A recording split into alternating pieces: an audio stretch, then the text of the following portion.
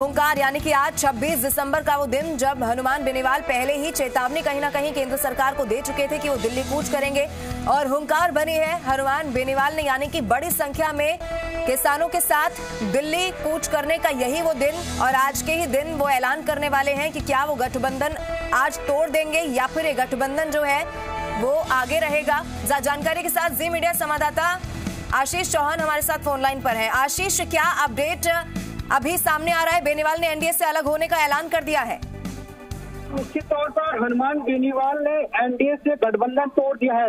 उन्होंने अभी अभी मंच से ये ऐलान किया है कि वे किसानों के कृषि कानूनों के विरोध में एनडीए से गठबंधन तोड़ते हैं। उन्होंने साफ़ तौर पर ये मंच से कहा है कि जो केंद्र सरकार है, वो लगातार किसान विरोधी जो बिल है, उसको लेकर के लगातार जो घमासान मचा हुआ है जिसको लेकर के मैं इस गठबंधन को तोड़ता हूँ। उन्होंने साफ़ तौर पर ये कहा है कि जब वो संसद, जब भी वो संसद में होते तो कहीं ना कहीं बिल का विरोध ज़रूर करते। उन्होंने ये कहा है कि कोरोना केंद्र सरकार ने और कहीं नहीं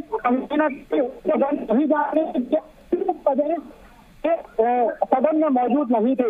उन्होंने ये भी कहा है कि यदि तो तमाम बिल होता और उसी साथ जो बिल है, लगाया जा का लगाया जा रहा था, उसी बात और यहाँ पर आज हनुमान मोहर लेने और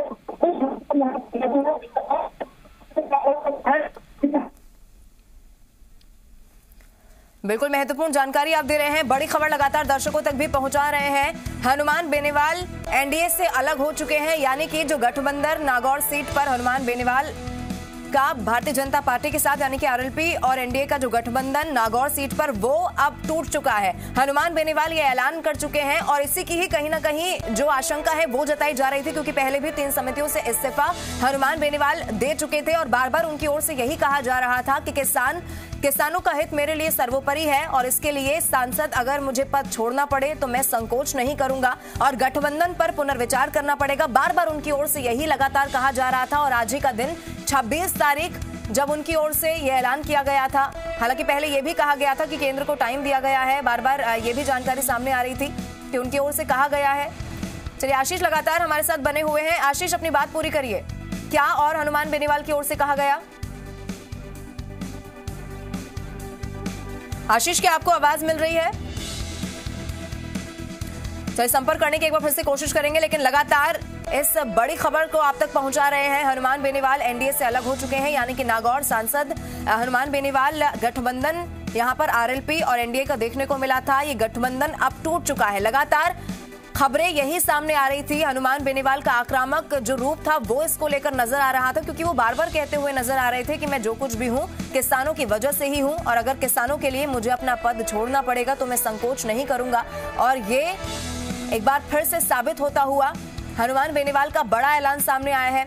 आशीष लगातार हमारे साथ बने हुए हैं। आशीष अपनी बात पूरी करिए। और क्या हनुमान बेनीवाल की ओर से कहा गया? देखिए हनुमान बेनीवाल ने मंच से ये ऐलान करते हुए कहा है कि एनडीए से इसके साथ साथ उन्होंने केंद्र सरकार पर हमला बोलते हुए ये भी कहा है कि यदि वे कदम में होते तो इस बिल को फाड़ देते। देखिए हम्म। जब कोरोना काल चल रहा था ऐसे में सांसदों को एंट्री नहीं थी इसीलिए उन्होंने केंद्र सरकार पर निशाना साधते हुए कहा है कि किसी बहाने से मुझे एंट्री नहीं दी गई लोकसभा में इसीलिए पीछे से सरकार ने ये बिल लेकर आई हम्म। यदि ये सदन में होते तो कहीं ना कहीं इस बिल को फाड़ देते ऐसा उन्होंने मंच से ऐलान किया है हम्म। लगातार यहाँ पर जो किसान है वो एकजुट होते हुए दिखाई दे रहे हैं हम्म। ऐसे में वो उनका साफ़ तौर पर यही कहना है कि वे यहाँ से दिल्ली की तरफ़ कूच कर सकते हैं लेकिन हरियाणा बॉर्डर पर पुलिस का भारी जाता यहाँ पर तैनात उन्होंने ठीक है ठीक है आशीष लौटूँगे आपके पास लेकिन बीजेपी प्रदेश अध्यक्ष सतीश पुनिया हमारे साथ फ़ोन लाइन पर जुड़ चुके हैं पुनिया जी स्वागत है आपका जिलास्थान पर लेकिन बड़ा सवाल यहाँ पर यह बना हुआ है हनुमान बेनीवाल ने क्योंकि गठबंधन तोड़ दिया है क्या पार्टी को कोई ठोस फ़र्क पड़ता हुआ यहाँ से नज़र आता है नहीं मेरी उनसे कोई अभी बातचीत हुई नहीं है तो हम्म। मैं पूरा अपडेट नहीं हूँ हम्म। तो उसके बाद ही कुछ कह पाऊँगा हम्म। बाकी हम लोग पहले भी कह चुके हैं हम्म। कि हम लोग तो गठबंधन के नाते सब दलों का सम्मान करते हैं उस हम्म। हिसाब से उनको ट्रीट करते हैं। बाकी उनकी अपना आ, काम करने का तरीका उनका एजेंडा है और वो इस बात के लिए बीजेपी के सीधे सीधे अनुशासन से बंधे हुए नहीं है। तो कई मामले में स्वतंत्र भी हैं। हम्म। कि उनको कब समर्थन करना और कब विरोध करना है। हम्म। लेकिन मेरी उनसे इस संबंध में बात हुई नहीं है तो मैं उसके बाद ही कुछ कह पाऊँगा। बिल्कुल पुनः जी देखिए अकाली दल ने भी इसका विरोध किया था जो कि एनडीए का ही गट- घटक दल था। और उसके बाद तो हरसिमरत कौर जो भी जो कि मंत्री भी थी उन्होंने इस्तीफा भी दिया। उसके बाद भी पार्टी को कोई ठोस फ़र्क पड़ता हुआ वहाँ से भी नज़र नहीं आया। इसको आप कैसे समझते हैं? क्योंकि नागौर सीट जहाँ पर गठबंधन आरएलपी और एनडीए का वो यहाँ से टूट चुका है। देखिए सबकी अपनी अपनी क्षमताएँ हैं अपना अपना विचार सिद्धांत और उसके साथ अपनी अपनी फॉलोइंग है जनता के बीच में। भारतीय जनता पार्टी क्योंकि बहुत पुरानी और एक वैचारिक पार्टी है। हम्म। इसलिए बहुत लोग इस राजनीतिक इसमें